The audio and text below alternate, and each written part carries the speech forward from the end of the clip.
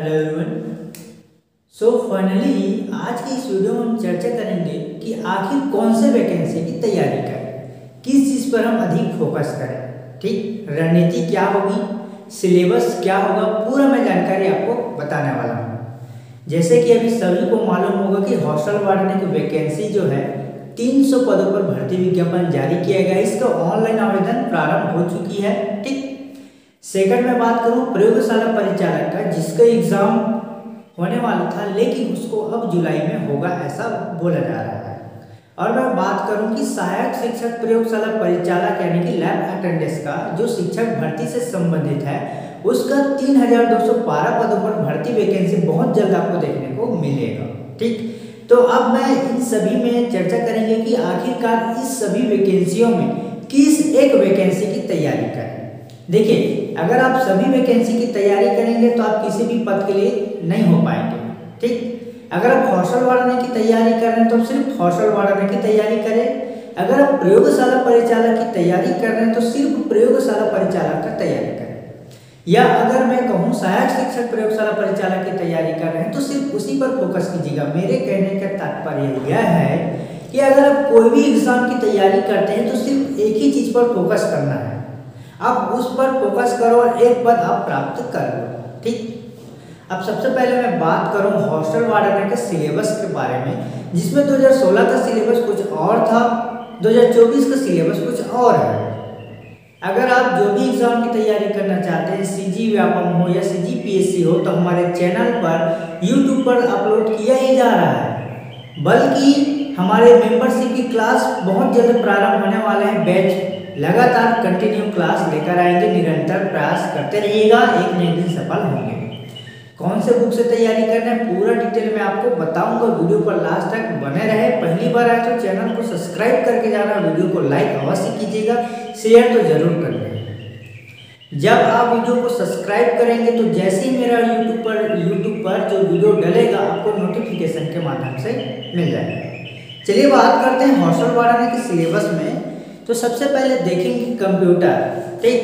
Computer का 30 number के प्रश्न पूछे जाएँगे, जिसमें आपको 15 नंबर लाना अनिवार्य है। अगर आप 15 नंबर नहीं लाते तो आपका O M R C check नहीं किया जाएगा। चाहे आप उसमें सब्जेक्ट में हिंदी इंग्लिश मैथ कोई भी में आप पूरा का पूरा नंबर ला कोई मतलब नहीं।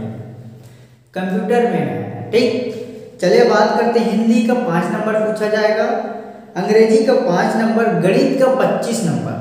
ठीक, पहले 2016 में 20 नंबर का पूछा जा रहा था, अब यहाँ पर 25 नंबर। ठीक, सामान्य ज्ञान के 15 नंबर, छत्तीसगढ़ सिर्फ़ पाँच नंबर। पहले 20 नंबर पूछा जा रहा था, अब सिर्फ़ पाँच नंबर। ठीक, समसामयिकी का पाँच नंबर और बाल मनोविज्ञान के दस नंबर। तो हमारे यूट्यूब चैनल पर छात्रों अधीक्षक की क्लासेस प्रारंभ हो चुकी है। जाइए यूट्यूब पर आप प्लेलिस्ट के माध्यम से देख सकते हैं या फिर नया बैच फिर प्रारंभ कर रहे हैं। बाल मनोविज्ञान की क्लास तो निरंतर चल रही है। कंप्यूटर मैथ्स की क्लास भी प्रारंभ चल रही है। आप जाके देख लीजिएगा। ठीक। मैं बात करूँ पहले डेढ़ सौ नंबर का पूछा जाता हॉस्टल वार्डन अब सौ नंबर के प्रश्न पूछे जाएँगे। ठीक है? अब मैं बात करूँ सहायक शिक्षक विज्ञान प्रयोगशाला का, जिसमें सिलेबस है भौतिक का चालीस नंबर। रसायन का आपका चालीस नंबर, जीव विज्ञान का आपका बीस नंबर और सामान्य अंग्रेज़ी का पंद्रह, सामान्य हिंदी का पंद्रह, कंप्यूटर की जानकारी दस नंबर, सामान्य ज्ञान के दस अंक टोटल डेढ़ सौ नंबर के प्रश्न पूछे जाएँगे। माइनस मार्किंग रहेगा सभी में, ठीक? अब मैं बात करूँ प्रयोगशाला परिचालक का, जिसमें आठ सौ अस्सी पदों पर भर्ती जो वैकेंसी निकल कर आई है, ठीक? सिलेबस एक बार मिलाइएगा, सामान्य विज्ञान के साठ अंकों के साठ प्रश्न पूछे जाएँगे। और सामान्य विज्ञान के जो प्रश्न रहेंगे, माध्यमिक शिक्षा मंडल नौवीं दसवीं का सिलेबस रहेगा, ठीक? भाग दो है, सामान्य चालीस अंकों के चालीस प्रश्न, जिसमें आपको भारत के भौगोलिक भौगोलिक भौगोलिक, सामाजिक, आर्थिक, ये सब पढ़ना पड़ेगा, सिर्फ़ भारत का, बाकी छत्तीसगढ़ के चालीस नंबर। और जो चपरासी के पद है, प्यून भर्ती हैं, उनके सौ नंबर, छत्तीसगढ़ से, ठीक? तो आपको पूरा क्लियर हो गया होगा सिलेबस। हॉस्टल वार्डन का प्रयोगशाला परिचालक चपरासी भर्ती का, साथ ही आपके सहायक शिक्षक प्रयोगशाला परिचालक यानी कि तीन हज़ार दो सौ बारह पदों पर भर्ती वैकेंसी जारी होने की संभावना थी उनका सिलेबस। ठीक, शिक्षक भर्ती की अगर तैयारी कर रहे हैं तो वो भी कर सकते हैं जी, हम आपको कराएँगे उसमें पूरे सिलेबस के अकॉर्डिंग। ठीक है?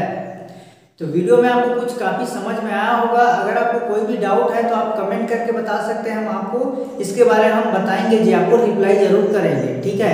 तो वीडियो पर आप कमेंट बॉक्स में कमेंट ज़रूर कर सकते हैं जी। अगर किसी भी किसी भी डाउट पर आपको क्लियर होगा तो आप कमेंट निरंतर कर सकते हैं, कोई दिक्कत नहीं है।